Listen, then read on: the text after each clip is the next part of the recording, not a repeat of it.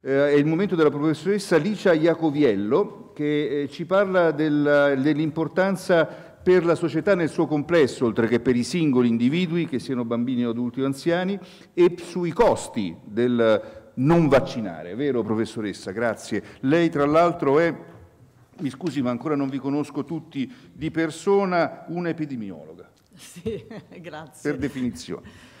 Grazie, mm, chiaramente mi associo anch'io ai ringraziamenti al professor Accolla per aver organizzato questa manifestazione che porta un po' la, eh, il sapere e la ricerca del, dell'Accademia a un pubblico più generale.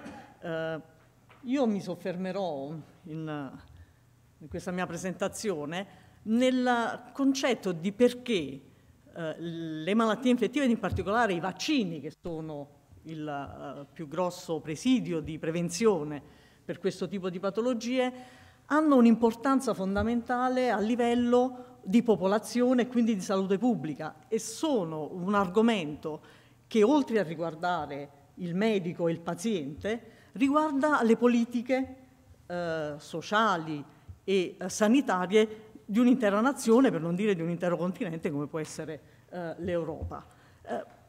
Quindi eh, ci soffermeremo su eh, perché e qual è l'impatto a livello di popolazione eh, delle malattie infettive per le quali abbiamo un vaccino, perché è così importante vaccinare in un concetto di popolazione sia a livello sanitario che a livello economico? E perché delle piccole variazioni delle coperture vaccinali, in fondo parliamo di pochi punti percentuali che sembrano banali, inutili, hanno invece una importanza così fondamentale sempre a livello di popolazione. Questo proprio perché eh, le malattie infettive sono trasmissibili, cioè passano da un soggetto all'altro e quindi da un punto di vista di sanità pubblica hanno un impatto molto più importante di una malattia come l'infarto, di cui noi oggi ci preoccupiamo, se volete, molto di più.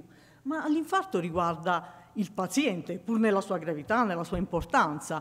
Se un paziente si ammala di infarto, la sua malattia rimane confinata a se stessa, non la trasmette a nessuno, per questo le chiamiamo malattie non trasmissibili. Mentre se una persona si ammala di influenza, di morbillo, di meningite, di poliomelite, questo viene trasmesso e, e questo concetto, seppur banale, ha invece un'importanza uh, fondamentale. E questo, proprio per questo le vaccinazioni sono state in sanità l'intervento di maggior successo, secondo solamente alla potabilizzazione dell'acqua, che pure ha riguardato fondamentalmente la prevenzione eh, delle malattie infettive. Vedete, noi attraverso il vaccino riusciamo a prevenire fino al 97%, a evitare il 97% dell'incidenza di quella patologia, mentre nella, uh, misura, uh, nella migliore delle ipotesi, con i presidi terapeutici per le malattie non trasmissibili non riusciamo mai ad arrivare a queste percentuali di salvezza. Eh, ritorniamo un attimo su quello che è già stato detto. Questo raffigura l'impatto in termini di riduzione delle patologie che hanno avuto i vaccini negli Stati Uniti d'America, dal momento in cui sono stati introdotti fino ai giorni nostri. Vedete, per molte patologie, quelle più importanti, quelle di cui ci siamo occupati prima, hanno, hanno relazionato i miei colleghi, il tetano, eh, la difterite, la poliomelite, noi abbiamo raggiunto, vedete, praticamente l'eliminazione, cioè siamo passati da tantissimi casi a, a zero casi, no? queste siringhe rosse che diventano nere. Per altre, vedete, la riduzione è comunque importantissima, ma abbiamo ancora qualcosa di cui preoccuparci. Quindi vi rendete conto immediatamente da questa figura che l'impatto è veramente drammatico in termini di positività. E questa non è la situazione soltanto negli Stati Uniti, ma vedete in questa piccola tabella c'è che cosa ha rappresentato in Italia l'aver introdotto i vaccini per le varie patologie di cui ci siamo occupati e soprattutto per quei vaccini che sono oggi diventati obbligatori. Vedete, siamo passati eh, da incidenze di 53 casi per 100.000 abitanti, quindi rapportate ai 56 milioni di abitanti che ci sono in Italia, a 11 eh, o a, a, livelli particolarmente inesistenti. E vedete, per ognuna di queste patologie abbiamo ottenuto una riduzione dei casi eh, incidenti massimale dal uh, massimo del 99%, siamo quindi vicino all'eliminazione, a situazioni che comunque come quella dell'epatite B arrivano al 50% ma che sono comunque estremamente importanti con un risparmio di malati e di morti veramente impressionante. Ma il beneficio che noi abbiamo avuto dalla vaccinazione non è soltanto di tipo sanitario, cioè riduzioni di malati e riduzioni di morti, ma abbiamo avuto anche un vantaggio economico importantissimo che non ha riguardato soltanto l'infezione, ma anche una serie di patologie croniche o non trasmissibili, come abbiamo detto prima, che a volte nemmeno ci immaginiamo. Abbiamo già sentito che il virus dell'epatite B non provoca soltanto l'infezione acuta da epatite B, ma nel tempo può provocare l'epatite A cronica, la cirrosi, le, il tumore del fegato e essere responsabili di una serie di trapianti che vengono fatti uh, per questo motivo. Quindi da quando è stato introdotto il vaccino contro l'epatite B, noi abbiamo, vedete, risparmiato in Italia 127.000 infezioni, 14.000 casi di epatite acuta, e fino a qua ci siamo, era immaginabile, ma abbiamo anche risparmiato più di 4.000 casi di epatite cronica, più di 70 cirrosi compensate, 5 cirrosi scompensate, 64 tumori maligni del fegato e 17 trapianti di fegato. Cosa significa questo in termini economici? Vedete, in 20 anni abbiamo risparmiato 81 milioni di euro e se facciamo una proiezione al 2056, a tra 20 anni, 25 anni, avremo risparmiato più di un miliardo oh, di euro. Vi rendete conto che questo in termini di vantaggio a livello sanitario è importantissimo, perché queste risorse che avremmo impiegato per la cura dell'epatite B e delle conseguenze dell'epatite B possono essere utilizzati eh, in dei contesti molto più importanti. Ma vediamo un altro esempio, ne faccio solo due per, per questioni di tempo. L'influenza. Abbiamo sentito no, che l'influenza può essere una malattia, anzi da noi viene considerata una malattia banale, ma come abbiamo sentito dal professor Grossi non lo è. Eh? Qualcuno desidera addirittura avere un po' di influenza magari per fare tre giorni di vacanza al lavoro o, o, a scuola. Io avevo un amico che voleva avere l'influenza nel periodo di Sanremo, dice così posso stare a casa tranquillo a vedere Sanremo. Ma invece abbiamo sentito che l'influenza ha delle conseguenze molto molto più gravi, soprattutto se viene contratta dagli anziani o da persone con delle patologie.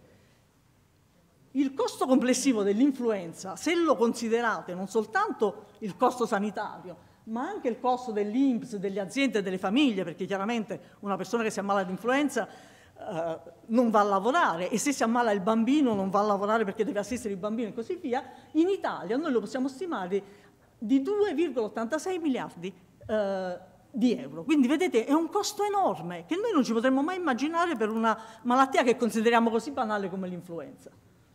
Se noi vaccinassimo tutta la popolazione italiana con più di 18 anni, eh, avremmo una riduzione da 2,86 miliardi del costo dell'influenza a 1,56 miliardi, con un risparmio netto di 1,3 miliardi di euro. Allora pensate come potremmo utilizzare in ambito sanitario questo 1,3 miliardi, per esempio avendo la copertura eh, pubblica per le terapie, per le nuove terapie contro i tumori che costano tantissimi e per le quali abbiamo veramente tanti problemi a trovare una copertura efficace. Ora, questo discorso è bellissimo, ma se poi andiamo a vedere che cosa succede in Italia con la copertura del vaccino, vedete qual è la situazione. Se noi consideriamo tutta la popolazione italiana, vedete la copertura vaccinale è veramente bassa, siamo nell'ordine del 20%, e se consideriamo gli anziani, quelli con più di 65 anni, chiamiamoli diversamente giovani, che sono quelli che dovrebbero di più aver paura delle conseguenze dell'influenza, vedete che siamo intorno a livelli che variano dal 50 al 60% e vedete qui questo decremento in quegli anni critici 2014, 2015, 2016 che hanno segnato l'allontanamento della nostra popolazione dai vaccini per tanti motivi che abbiamo sentito e che hanno provocato come conseguenza l'obbligo vaccinale ai 10 vaccini che poi abbiamo anche, anche contestato.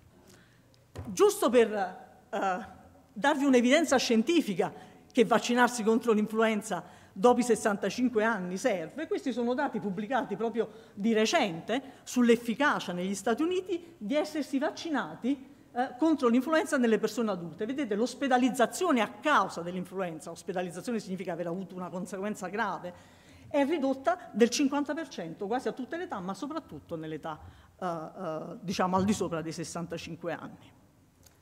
Copertura vaccinale, cosa significa? Il numero di persone che sono vaccinate per classi di riferimento.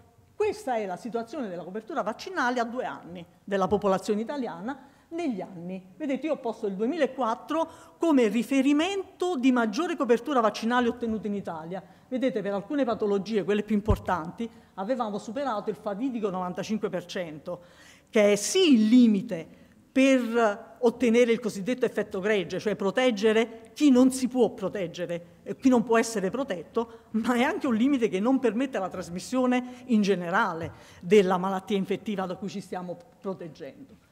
Vedete, per le altre uh, malattie come per esempio il morbillo, la parotite, l'orosolia, noi non abbiamo mai ottenuto in Italia, neanche nei tempi migliori, la copertura richiesta del 95% e nemmeno del 90%, che è quella diciamo meno impegnativa ma ancora considerata importante. E poi che cosa è successo? Vedete, 2014, 2015, 2016, la parte centrale.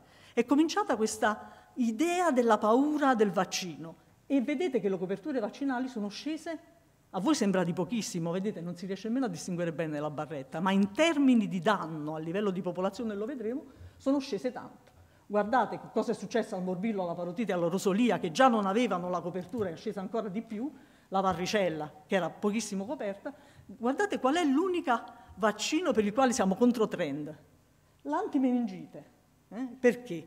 Perché per la meningite c'è stata una sorta di paura collettiva. E allora questo vi fa capire che quando la gente ha paura, i Novax non, non tengono, perché la gente si vaccina anche se non ne ha bisogno. Noi non avevamo un'emergenza meningite se non in una regione italiana, che era la Toscana, avete visto la situazione della Lombardia dove addirittura è in decremento il caso di vaccino, però la gente, vedete, si è coperta e abbiamo avuto un progressivo incremento, l'unica vaccinazione contro trend, del vaccino antimeningite. E queste sono le conseguenze del non vaccinarsi. Vedete, questa è la situazione in Europa rispetto al morbillo. Questi colori, il colore più scuro ri, eh, rispecchia la uh, maggiore incidenza di casi di morbillo, mentre il colore più chiaro di quest'altro grafico fa vedere qual è la copertura vaccinale. Più scuro qui, più chiaro qui, significa maggiore numero di casi di morbillo, minore copertura vaccinale. Vedete che il problema non riguarda solo l'Italia, chiaramente noi lo, ne parliamo perché siamo italiani, ci sentiamo più coperti, ma riguarda tante altre regioni, forse quelle meno aspettate, perché vedete, riguarda la Francia, eh, riguarda il Portogallo, forse riguarda un po' meno dei paesi dell'est che noi avremmo immaginato magari più. E anche gli Stati Uniti d'America che ci dicono e fanno vaccinare. Come vedete, in, in, negli Stati Uniti d'America c'è un incremento drammatico dei casi di morbillo negli ultimi anni, che non dipende sicuramente dal fatto che sono venuti in Italia dove non ci sono i vaccinati, ma hanno un problema anche loro che magari sanno nascondere meglio di noi. Eh? E questa, guardate, è la situazione del 2017, quello che ci ha indotto a fare la legge sull'obbligo delle coperture vaccinali. Guardate, abbiamo un triste primato insieme a altri tre paesi, che sono oh, gli altri due paesi, l'Ucraina e la Romania. L'Italia eh, ha è il terzo paese con più casi di morbillo nel 2017. Praticamente è, questi tre paesi coprono il 75% dei casi di morbillo che ci sono stati in Europa nel 2017. Ora, questi primati sono, non sono auspicabili, sono veramente spiacevoli, con un aumento dell'incidenza del 400% del morbillo. Avete visto quanto era piccola la variazione che abbiamo avuto nella copertura vaccinale? Avete visto quanto è grande, 400% di casi in più che abbiamo? Quindi anche un per cento conta tanto a livello, a livello di popolazione. E questo è quello che sta succedendo nel, Uh, nel, è successo nel 2018 praticamente, questi sono i dati a novembre 2018, in Italia abbiamo avuto ancora 2.247 casi di vaccino, li abbiamo dimezzati, scusate, di morbillo, li abbiamo dimezzati rispetto al 2017, ma sono ancora tantissimi, soprattutto vedete nella popolazione di età eh, intermedia, quindi non è una cosa che riguarda soltanto i bambini, e vedete tutti questi casi erano non vaccinati, il 91% di queste persone non era mai stata vaccinata, il resto della percentuale aveva fatto solo un vaccino senza il richiamo. E ci avviamo alla conclusione, il problema non è soltanto abbiamo avuto il morbillo, ma vedete che la metà dei casi di morbillo che si sono verificati hanno avuto delle complicanze, quindi hanno avuto qualcosa oltre il morbillo, complicanze che in alcuni casi vabbè, sono poco interessanti, una stomatite non si, non si nega a nessuno, un po' di diarrea non si nega a nessuno, ma vedete che ci sono anche casi di encefalite, ci sono anche casi di morte, otto decessi, sette negli adulti e uno in bambino dovuti al morbillo che è venuto perché non ci si era vaccinati contro, contro il morbillo. Quindi io concluderei qua, vi vorrei lasciare tre messaggi da portare a casa. Ricordiamocelo, il vaccino rimane, eh, anche ora che ci sembra che le malattie infettive non ci siano più, la misura preventiva più efficace per ridurre il peso delle malattie in Italia, ma noi dobbiamo pensare al mondo, anche piccole riduzioni della copertura vaccinale hanno degli effetti drammatici a livello di popolazione e noi dobbiamo essere concentrati su questo.